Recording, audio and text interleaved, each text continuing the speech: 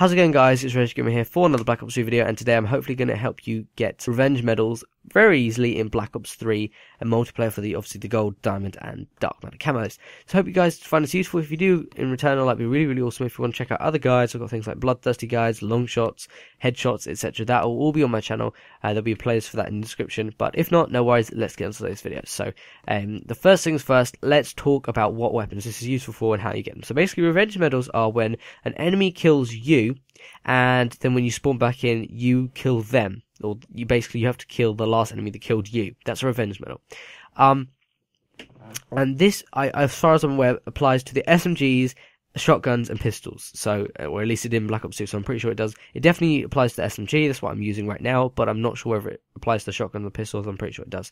Um, now, basically, you need 10 of them, so not too difficult. And, you know, if you're kind of the, you know, if you're a really, really good player, you can maybe get them, if you're having good luck, maybe all within one game. If you're kind of an average player, then maybe two games. Um, and if you're slightly less of an average player, but still, you know, kind of about average, maybe slightly less than that, um, then you might get them in about three matches or so. I don't know, depending on how well you're doing and, and what kind of luck you're having. But basically, uh, there's two methods I suggest. Let's talk about the general class first, and then I'll talk about why each element is important later on. So the first class I'd say, obviously, I'm not going to go through every class for every type of weapon for you know shotguns, SMGs, and pistols. I'm just going to go through for today. I'm going to be looking at the SMG class, and you, then you can apply similar bits of knowledge to other weapons weapons classes and that kind of thing. So first of all, I've gone for the Kuda, and I've put the reflex sight on just for you know extra kind of accuracy. And um, then what I suggest is on the weapon you're using. Well, this is for SMGs anyway. Quick draw and grip. Um, don't really need to explain why they're useful. Uh, there's not really any other kind of attachment. I can't really see any other one that that uh, that would really that be that useful. So I don't know to be honest. Um, I think that's better really. And then for the tactical, I've gone for smoke screen or concussion, up to you. I generally say go for smoke screen, but I'll talk about why it's so important in just a minute. Uh, for perk one, I've gone for sixth sense, and I've also used a primary, sorry, a primary, uh, not primary, a perk one greed wildcard to go for a second perk one called Overclock. This means you can earn your specialist weapon or ability faster, and it's going to be very useful in just a minute. I'll explain why. Next, you want to go for fast hands.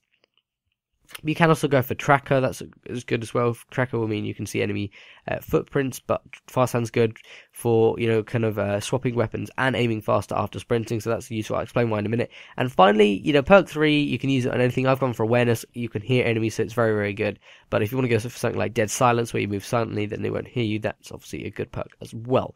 Um, so now let's talk about why you know the two different methods that I like to use. So number one is if you go onto find match bonus, and then you go into chaos mosh pit. Generally, most of the time you're playing on Nuketown, and Nuketown's a nice small map, and quite a lot of the time you'll spawn, you'll get a kill, then maybe you'll die, and then you know you can easily hunt uh, the player that, or try to hunt the player that killed you last, and um, that will count as revenge medals. The map's quite small, you get lots of close quarters combat, and generally, even without trying, you'll get quite a few revenge medals, and obviously more if you try a lot more. So obviously, it's very good for getting um, uh, revenge medals. Now, some people might say, "Oh, well, if it's all about enemies, then why don't I go into free for all?" Well, free for all, the problem is that is that obviously you have more enemies. You have between four and eight enemies. Normally, more like eight enemies. Um, most of the other game modes, as far as I'm aware, all have six enemies and six um, teammates. So that's uh, six and six. But obviously, it's only the enemies that count. So it's um, it's you have basically a one in six chance of killing the guy that last killed you, which is one in six chance of getting your revenge after they kill you. Obviously, there are other factors, and you know you might die before you can actually kill an enemy. But I'm just saying, if you to kill an enemy, you have a one in six chance. Whereas if you're playing free for all, you you would have a one in eight chance, um, because there's obviously eight enemies. Oh no, sorry. I think one in seven because there's eight enemies, one or eight players. One of them is you, so one in seven chance that is. Um, but still, that's obviously a little bit more. And plus, with free for all, it's a bit more chaotic. There's loads of enemies, and they're all coming at you at once. So it's very difficult to actually know who's who and what's happening, and actually try and survive and actually find the enemy. It's very difficult. So it's much easier to go for one of the team-based kind of game modes, and um, also with uh, a bit of an objective. So um, something like domination is really, really bad because what it means is that um, and oh, sorry, I'm talking about method two here now. By the way, uh, so basically, the first method was going to that a map like Nuketown, so go into that kind of um, mosh pit playlist, chaos mosh pit. I think I said yeah. Um, now the other method is um, using a specialist, which I'll talk about in a minute. But basically, uh, the game mode you want to go for is not something like domination because obviously with domination you've got lots of enemies that group onto a flag, and if you've got lots of enemies in one area, then it's obviously very difficult to kill the enemy that last killed you because they bunch up and then they'll all shoot you at once. So it's kind of very difficult. What I suggest for specialists is you go uh, and choose Nomad. Um, either method, you know, use Nomad. I'd say anyway, just because to increase your chances. But um, definitely with this method, use Nomad because what I suggest is you use Nomad, um, and and use Rejack because Rejack's going to mean that you can as soon as an enemy kills you, uh, once you earn it, you're going to have the ability to kind of um, not respawn but like get back up, almost like I think Last Stand, something like that. I think that's what it's called. So basically, once an enemy shoots you and you actually got it, it will give you the chance to activate it, and you'll basically get back up. Um, there'll be a green smoke around you, that kind of thing. Um, so that's gonna be very good because obviously you'll be right by the player that just shot you, um, unless they've been killed, which chances are they haven't, but always there's always that little tiny possibility. So it's very good, and obviously because we don't have tactical insertion in this game, we can't like put a tactical insertion near the enemy and then kill them. It doesn't work like that. So the best option I'd say is using rejack.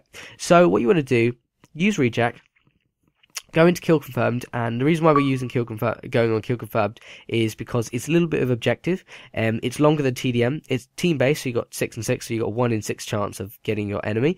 Um and also you can get xp very fast. And do you remember i said earlier in the class setup that you should go for overclock so you can earn your specialist faster? Well if you earn xp from tags and kills it's going to be even even faster. So basically overclock along with um getting kills in kill confirmed as well as getting tags. That's 150 points per kill and tag, plus any other tags you find around. Plus overclock's going to mean it's going to you're going to earn Rejack faster, so you're definitely going to earn it like four, five times per match, which is definitely going to be good. Which means you have um, just from using Rejack alone, um, you know, um, um, on average about four or five chances at getting a um, revenge medal. Um, sometimes it obviously won't work your way, and you go your way, and sometimes things will happen which you don't want them to. Um, and you know, people, the enemy might kind of be camping right over you uh, when you're in Rejack, and like when you're activating Rejack mode um, and the green smokes around there, sometimes enemies stay right by you, so they shoot you as soon as you stand back up. So that is a problem. Um, so generally, if you're going into a cl- uh, like a very small kind of confined space, like a small room, uh, generally the enemy will easily more kind of be able to find you a lot easier. So they'll be easier to shoot you down easier, and the, the odds are against you. So basically, you want to what you want to do, um, pretty much earn your rejack. Um, and then when you're very close, be very, very careful because if someone shoots you while your while rejack is like active, then obviously you don't get to choose whether to use it or not. Automatically, it will kind of put you into the Rejack mode anyway. Um, so you're gonna be very, very careful. Um, and like the problem is if you're put into Rejack and you don't want to be, you know, either because like uh, if there's several enemies in the area, then obviously that's not going to be good for you. So what you want to do when you're very close to earning Rejack, think very carefully and think which way is the best to go. Um, and obviously this is I also suggest using UAV, um, because what it's going to mean is that you can obviously find enemies, but you want to find an area where there's only like one enemy. Um, you want to find them in a kind of a more open area, but not, you know, where there's loads of enemies. If there's loads of enemies, when you go into Rejack, they're all going to shoot at you and it's not going to be good. If there's like, and obviously you're not, sometimes you won't even be able to tell who shot you and who didn't. So, um, you want to find kind of one enemy, go near them, let them kind of kill you, but then go into Rejack and they're going to be, hopefully they're not camping right by you. Sometimes they will, sometimes they won't. Uh, as soon as you get back up, try and throw a, a smoke screen. Um, what do we call it? I can't remember what it's called. Let me just check. Uh, it's called yeah, yeah. Uh, it's called a smoke screen. Yeah, throw a smoke screen.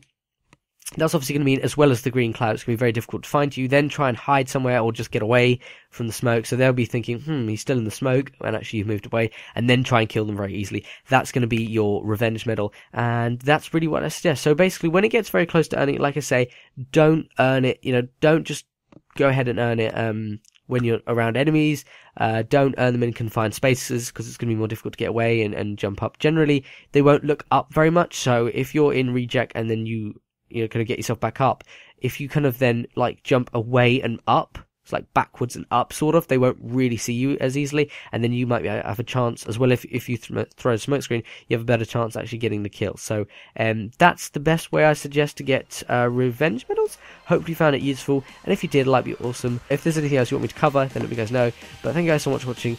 Um, like i said hope use- useful hope you enjoyed. I'll see you guys soon